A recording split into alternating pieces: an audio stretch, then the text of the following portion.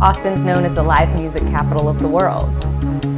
You can't really walk down the street uh, without hearing some music coming out of somewhere.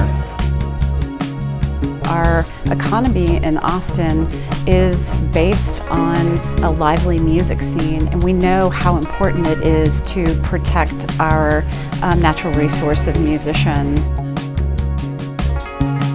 We've found that musicians are under really unique stressors. There's not a lot of security. When you're going to get paid is unpredictable. Going on tour is very stressful. You're away from your support system at home. It has to do with living uh, in kind of a creative world between the dream world and the real world. All of these combined can lead to mental health issues. Austin is different in that we support the mental wellness of our Austin music community.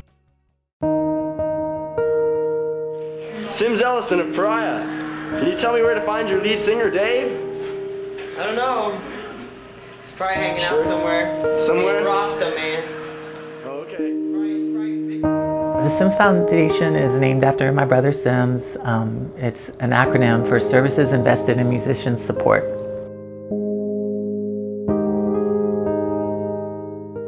Sims was known, he was the bass player in our band Pariah. I still today haven't had as much fun ever as playing with Sims because he was, you know, he would wear lederhosen and top hats and he would bounce around stage everywhere and he never knew where he was. It was really hard for us um, to find help for Sims. He struggled with depression.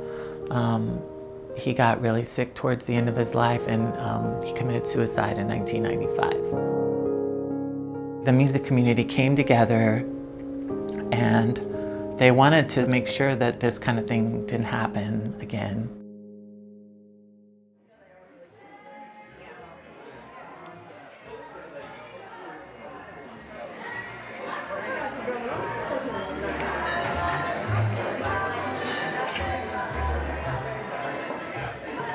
You know, I've had some major struggles in the past couple of years.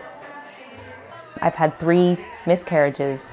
The day I learned that I was having a miscarriage, I had a gig at the Continental Club, and um, I don't cancel shows.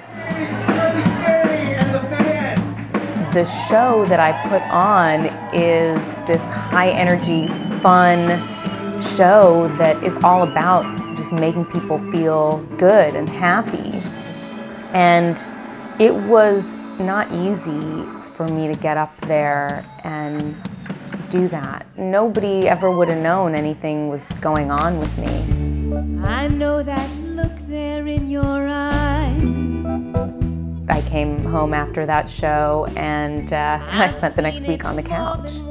You know, and that's when I realized I was probably depressed.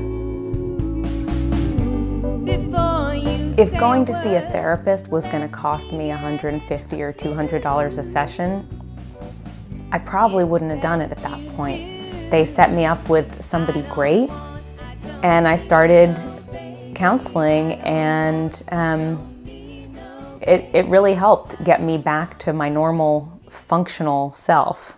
The Sims Foundation was a, a big part of saving my life.